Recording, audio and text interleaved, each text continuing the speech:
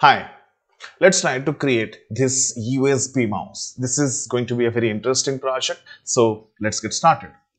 Now, in order to build a USB mouse or a USB 3D mouse or USB Air mouse, all we're going to need is this is the part list.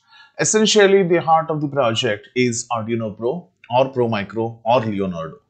Basically, any Arduino which doesn't have an external USB chip, but it uses the microcontroller's built-in USB is needed for this. Now, you may question me why this is because such a microcontroller can directly act as a USB HID like a mouse or a keyboard when you connect it to computer. The accelerometer that I'm going to use here is this MPU6050. Uh, however, you can also use other accelerometers. This one was handy with me, so I'm currently using it. I'm using two push button switches which will act as left click and right click. Then definitely a micro USB cable which you might require for downloading the code as well as the communication between controller and PC, then connecting wires and then breadboard. So these are the components required. Let's look at the software requirements. So I'll show you all you need to do is you need to use this MPU 6050 library. So if you are frustrated by some of the codes which are found online where you are not able to run the code, I'll show you how to make it run on the latest version of Arduino. So you don't have to do much hassles. I'll show you how to install those required libraries. These are the two primary components I have used MPU 6050 and Arduino Pro Micro. Now let me show you what is the circuit that you have to build for it. Now the circuit connections are very, very actually simple. All you need to do is you need to connect your accelerometer sensor with VCC, ground and the I2C connections. So VCC ground, I'm pretty sure you will be able to figure out. I'll just show you the I2C connections here.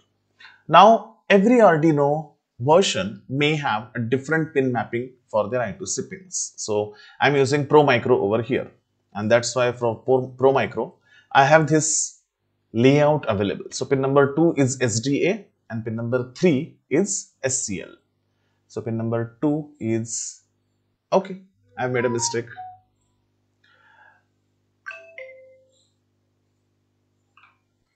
So pin number 2 is SDA.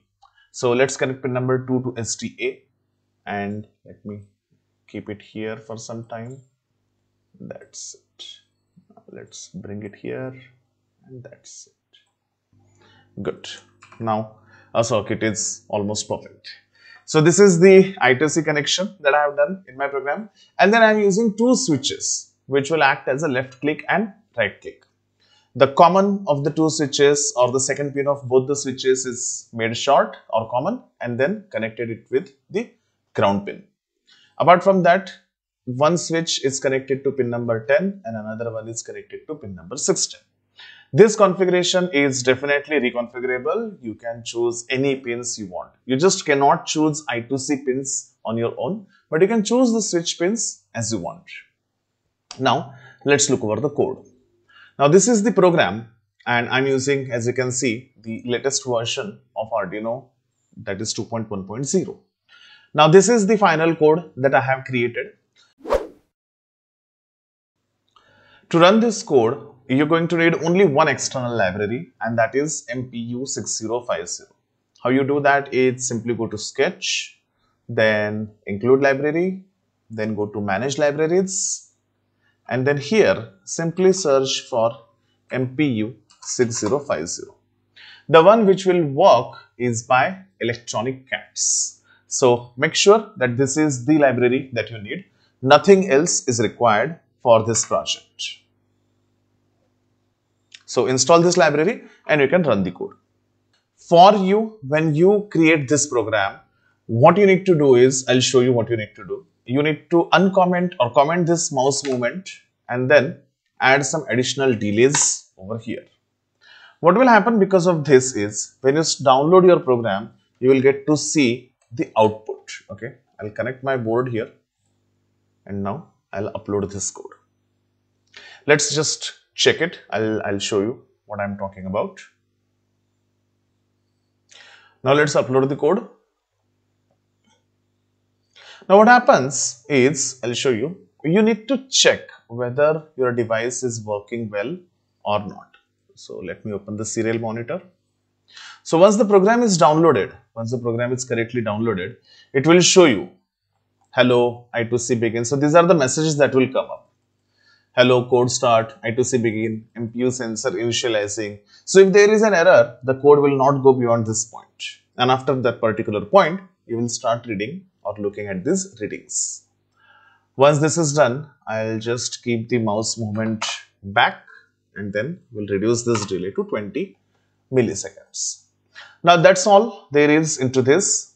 Uh, the switches can be modified in these two lines, the left click and the right click. So I have made pin number 10 and 16 mentioned here as well as they are mentioned right over here. You can change them as and when needed. Now let me upload this code and let me uh, try to connect my camera because then you will be able to see what's happening here. So code is uploaded. Now this is the camera. Okay, I guess this is going to cause a problem. So I'll just focus the camera onto my board and we'll just have a small window right over here. Now look at my board. I think you can see it. So now let me uh, let me just minimize my Arduino window. Single click. Single click. Let me open my circuit diagram over here. Single click. Okay. So this is how the code is working. Uh, yeah. Let me just keep it aside. So this is you can see the mouse movement happening right over here. So all you need to do is, this is an air mouse. Now, you just move your Arduino or move your board in any fashion and then you will be able to see your function. So this is single click, the left one is the single click, this one is right click, so you will see, I'll just refresh my screen over here. And it's fairly easy to use see there isn't much vibration. It's almost as good as or as natural as your regular mouse except for the fact that it is 3d air mouse so this is the project. I'll tell you the troubleshooting tips. Uh, first and foremost is follow the circuit that has been mentioned right over here. Okay i'll do one thing. Uh, this is the circuit as it is. There is no change to the circuit and there is no change to this code if you are following the same circuit. Both the circuit and the code are given along with this video. So I don't think so there will be any problem for you and you'll be easily be able to replicate this project. Thank you for watching this video. Have a great day.